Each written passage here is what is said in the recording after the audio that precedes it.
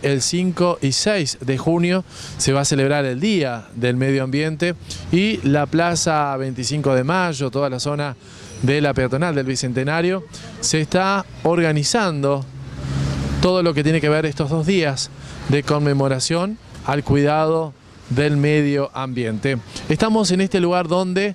antes se construyó la casa de madera por parte del CEDEFI, INTA, INTI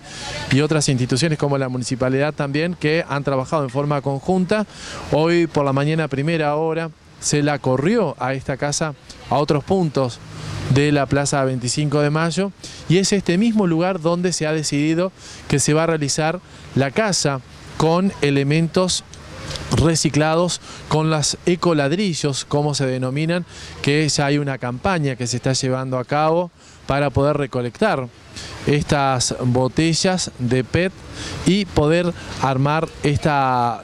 vivienda, este hogar, esta casa, aquí también en este mismo lugar, en la intersección de la peatonal y calle Urquiza. También hay una empresa privada que se está encargando de el armado de las carpas que se van a colocar aquí sobre la peatonal del Bicentenario porque hay diferentes stands que se van a presentar, hay escuelas que van a participar